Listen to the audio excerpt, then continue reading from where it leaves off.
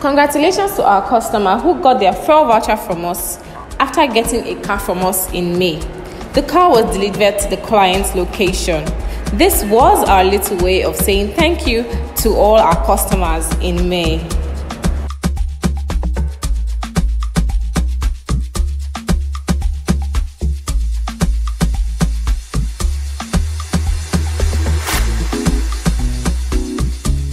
Hey, hey.